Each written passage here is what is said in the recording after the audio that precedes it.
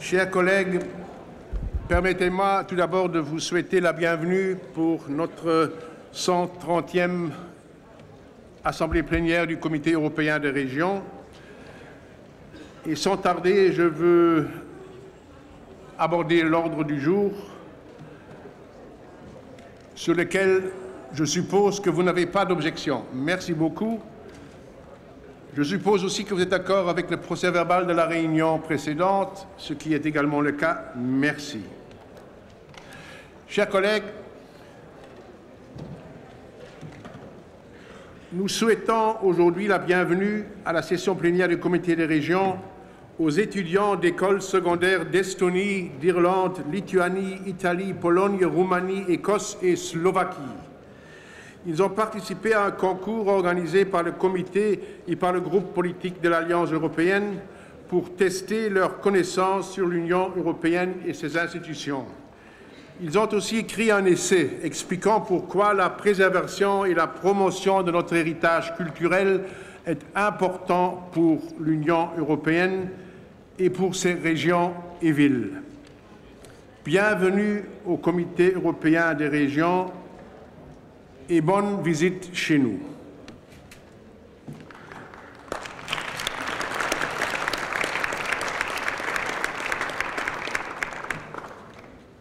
Entre-temps, euh, j'espère que vous avez aussi pu écouter le message de nos interprètes qui ont voulu faire un message concernant leur euh, action euh, qu'ils mènent actuellement ici au comité.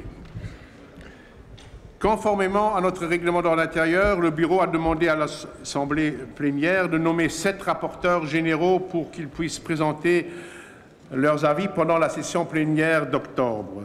Vous voyez les avis concernés ainsi que les rapporteurs généraux proposés par euh, chacune des commissions sur les écrans.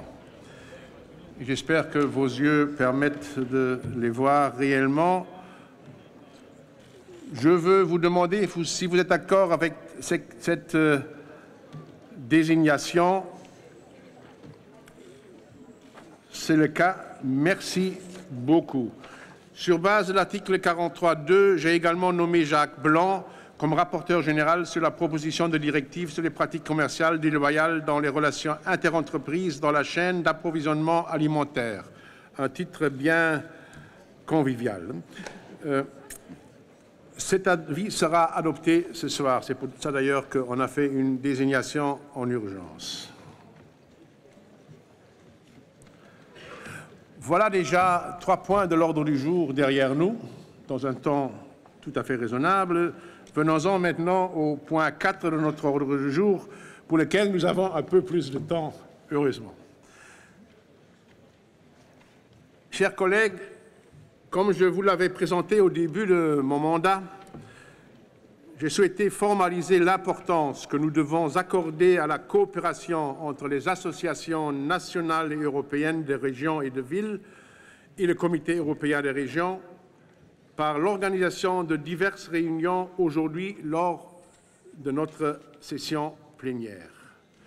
À ce sujet, je souhaiterais saluer et remercier tous les représentants des associations qui ont fait le déplacement à Bruxelles.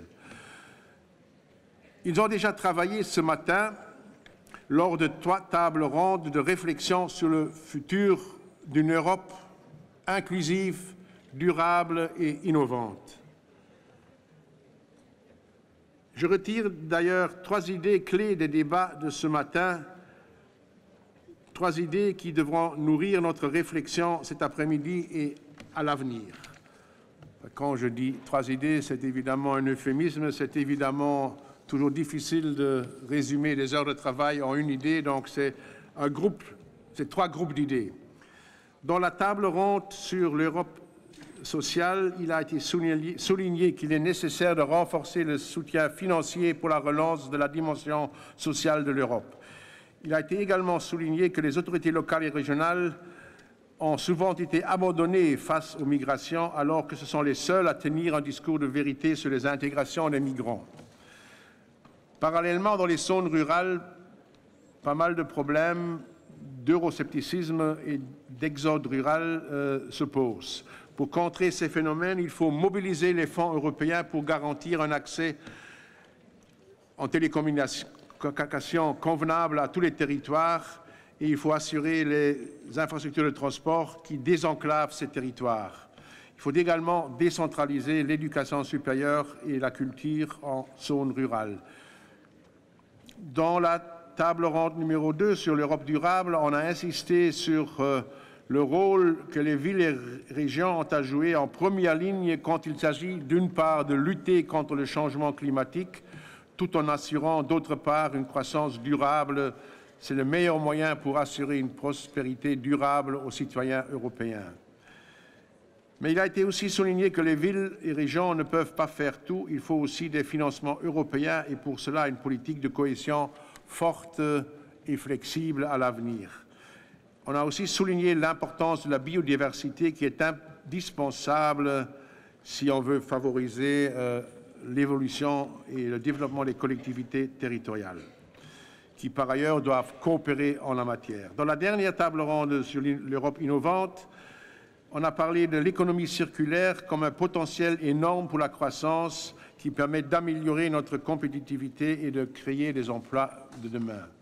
On a aussi souligné que les, que les, déchets sont une ressource que nous devons mieux utiliser, notamment pour le développement de nos industries. Et on a souligné à juste titre que les communes sont en première ligne avec les régions pour organiser ces filières. Enfin, on a aussi insisté sur euh, la nécessité de développer des standards communs pour l'interconnexion des différentes administrations et on a aussi souligné l'importance de la numérisation de l'économie et du haut débit euh, si on veut donner toutes les chances au développement euh, dans les régions rurales et si on veut dégager de nouvelles perspectives de développement. Voilà quelques idées qui ont été formulées cet avant-midi et qui seront certainement approfondies maintenant. Les, idées de ce matin, mais aussi les idées qui seront développées maintenant ici, euh, nous permettront d'alimenter nos réflexions au niveau du comité des régions. Nos réflexions qui concernent notre positionnement sur le futur de l'Union européenne, mais qui concernent aussi le travail que nous menons dans le cadre de la Task Force Subsidiarité qui remettra son rapport final le 15 juillet prochain. Et ces idées alimenteront évidemment aussi notre avis euh, que mon collègue Marcou et moi-même, nous allons présenter en octobre ici sur l'avenir de l'Union européenne et les idées alimenteront aussi notre seconde déclaration sur l'état de l'Union vue par les collectivités territoriales qui sera prononcée euh, au début de la semaine européenne des régions et villes en octobre. Enfin, en discutant ici, vous contribuez aussi à nourrir l'élaboration de notre déclaration pour le huitième sommet européen des régions et villes qui se tiendra le 14 et 15 mars prochain à Bucarest, en amont du sommet des chefs d'État et de gouvernement de Sibiu. Nous avons maintenant une heure et demie pour continuer à réfléchir sur le futur de l'Europe vu par les régions et villes. Et nous commencerons par des interventions de personnalités de ce monde régional et local qui nous ont fait l'honneur et le plaisir de nous rejoindre aujourd'hui. Commencera par le président de l'Association des maires de France, euh, M. François Barouin. Nous continuerons avec la vice-présidente de l'Association des autorités locales et régionales de Finlande, euh, Mme Sari Rautio. Puis aura la parole le président de l'Association des métropoles polonaises, M. Euh, Rafal Duczkiewicz. J'espère que j'ai bien prononcé, ce n'est pas toujours très simple. Et nous aurons alors, après cela, un débat où nous avons déjà pas mal d'inscrits. Comme d'habitude, je vous demande vraiment à respecter euh, les paroles, les temps de parole, respecter les paroles aussi, mais ça c'est autre chose. Mais ici, on parle du temps de parole qu'il faut évidemment euh, bien garder à l'œil si on veut donner la parole à un maximum de personnes.